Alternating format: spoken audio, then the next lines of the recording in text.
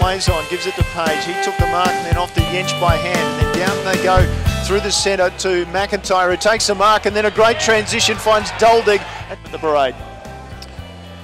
McGuinness to bring it back in, kicks it to himself. Oh! oh he just gets. 18 points. Ball comes down into the direction of Craig Evans.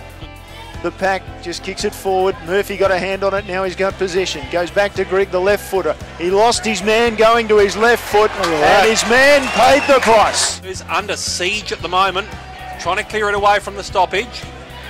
Yench brings it inboard.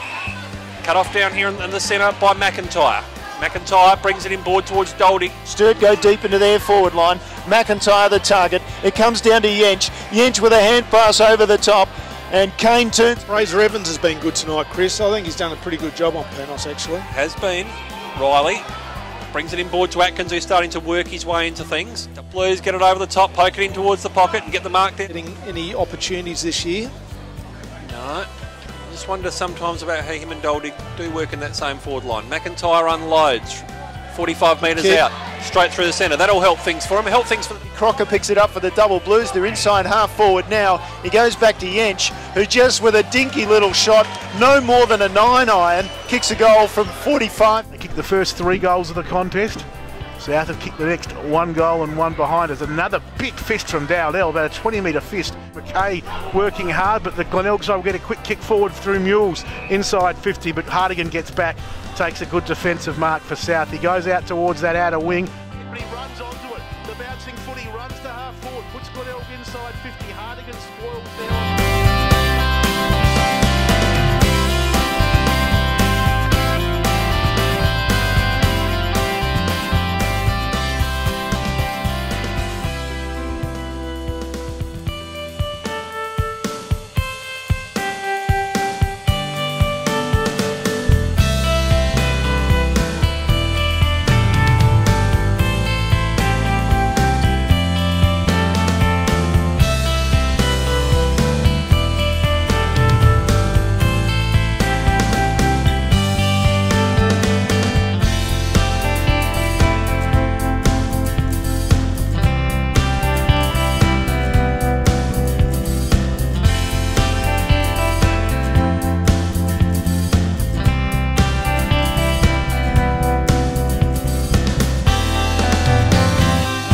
Half back.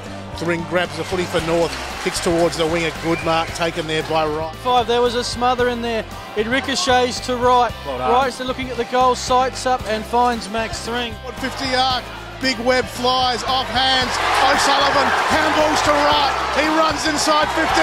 Handballs to Gordon. He can run to the goal line. The Roosters, it'll end up with the Bloods.